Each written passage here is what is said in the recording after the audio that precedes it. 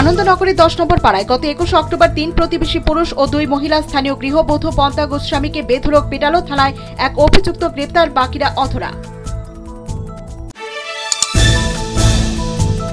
আনন্দনগরের দশ নম্বর পাড়ায় প্রতিবেশীদের হাতে আক্রান্ত পদ্মা গোস্বামী আজও সম্পূর্ণ সুস্থ হননি। অভিযুক্তদের গ্রেপ্তারে পুলিশের গড়িমসির কারণে জনমনের সন্দেহ।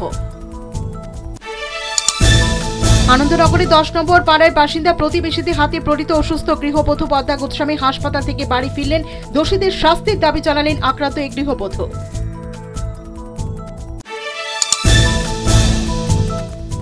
শনিবার রাজ্যের শিশু বিশেষজ্ঞ ডাক্তারদের বার্ষিক সম্মেলন অনুষ্ঠিত। রবীন্দ্র শতবার্ষিকী ভবনে এদিন এই কর্মশালা অনুষ্ঠিত হয়।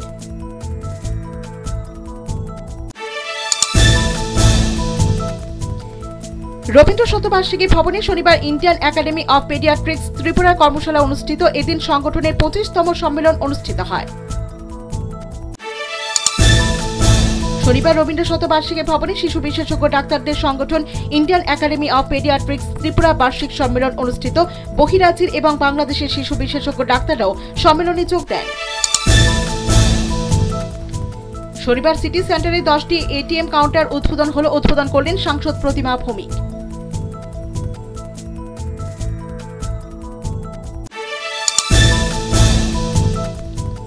সিটি সেন্টারে শনিবার দশটি জলের এটিএম কাউন্টারে উদ্বোধন করলেন সাংসদ প্রতিমা ভৌমিক। স্মার্ট সিটির প্রকল্পের অর্থে জলের এটিএম কাউন্টার নির্মাণ করা হয়েছে।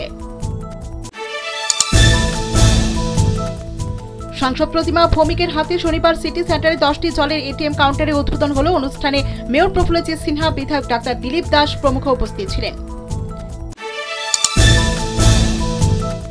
শিক্ষা দর্পণ সফটওয়্যারের মাধ্যমে এমন জানা যাবে রাজ্যের সমস্ত বিদ্যালয়ের বিভিন্ন তথ্য। শনিবার এ ব্যাপারে তুলসীপতি বালিকা বিদ্যালয়ে একদিনের কর্মশালা অনুষ্ঠিত। শনিবার সদর এবং ডুবটি ব্লকের বিদ্যালয়গুলো প্রধান শিক্ষকদের নিয়ে তুলসীপতি বালিকা বিদ্যালয়ে একদিনের কর্মশালা অনুষ্ঠিত। স্কুল ম্যানেজমেন্ট সফটওয়্যার বিষয়ক কর্মশালাকে ঘিরে সংশ্লিষ্ট প্রধান শিক্ষকরা ব্যাপক উৎসাহী। শনিবার তুলসীপতি বালিকা বিদ্যালয়ের প্রধান শিক্ষকদের নিয়ে স্কুল ম্যানেজমেন্ট সফটওয়্যার বিষয়ক কর্মশালা অনুষ্ঠিত সদর এবং ডুকটি ব্লক, স্কুল ইন্সপেক্টর এই কর্মশালার আয়োজক। শনিবার থেকে বিবেকানন্দ ময়দানে শুরু হয়েছে দুদিনের সিক্স এ ফুটবল একটি বেসরকারি রঙের কোম্পানি এই টুর্নামেন্টের আয়োজক।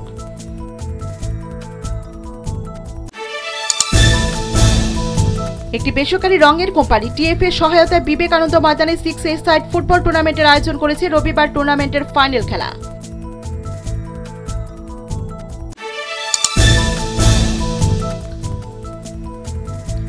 বিবেকানন্দ ময়দানে বেসরকারি রঙের কোম্পানি আয়োজিত সিক্স এ সাইড ফুটবল টুর্নামেন্টকে ঘিরে ব্যাপক সারা মোট সাতাশটি দল টুর্নামেন্টে অংশ নিয়েছে। রাজ্য কংগ্রেসের সাংগঠনিক কাজকর্ম খতিয়ে দেখতে আগামী পাঁচই নভেম্বর রাজ্যে আসছেন সর্বভারতীয় কংগ্রেস দলের সাধারণ সম্পাদক জয়রাম রমেশ ও মুকুল ওয়াসনিক।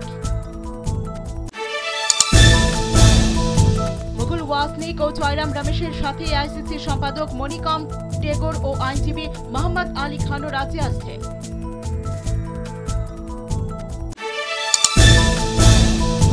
সর্বভারতীয় কংগ্রেস নেতৃবৃন্দের দুদিনের রাজ্য সফরের সংবাদে কংগ্রেসের কর্মী সমর্থকদের মধ্যে উৎসাহ উদ্দীপনা সৃষ্টি হয়েছে।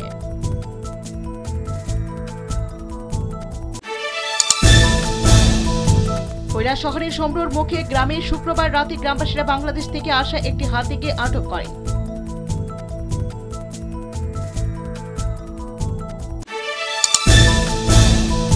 গ্রামবাসীদের অভিমত, কৈলাস শহরে মূর্তিছড়া গ্রামের দশ নম্বর এলাকায় কাঁটা তার কেটে হাতিটিকে পাচারকারীরা ভারতীয় ভূখণ্ডে নিয়ে আসে।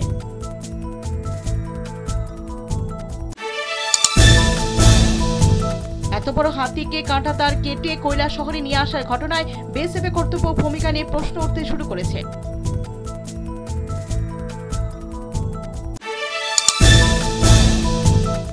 বনকর্মীদের না দিয়ে হাতিটিকে গ্রামে রাখা হয়েছে। প্রয়োজনীয় প্রমাণ পেলে মালিককে হাতিটি দিয়ে দেবে বলে জানান গ্রামবাসীরা।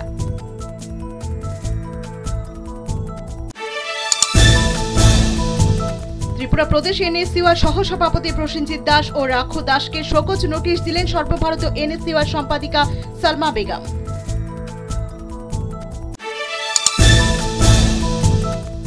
রাজ্য এনএসইউআর দুই সহ সভাপতিকে দুদিনের মধ্যে শোকজ নোটিশের উত্তর দিতে বলা হয়েছে।